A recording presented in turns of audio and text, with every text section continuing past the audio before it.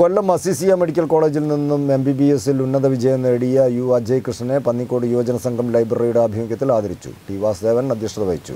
K Velayudhan master ഉപഹാര സമർപ്പണം നടത്തി. Muraleedharan master T Komukutty K C Velayudhan P Rushid Babu A P Noorjahan K Sunilkumar U Gopalakrishnan K Chandran തുടങ്ങിയവർ ചടങ്ങിൽ സംബന്ധിച്ചു.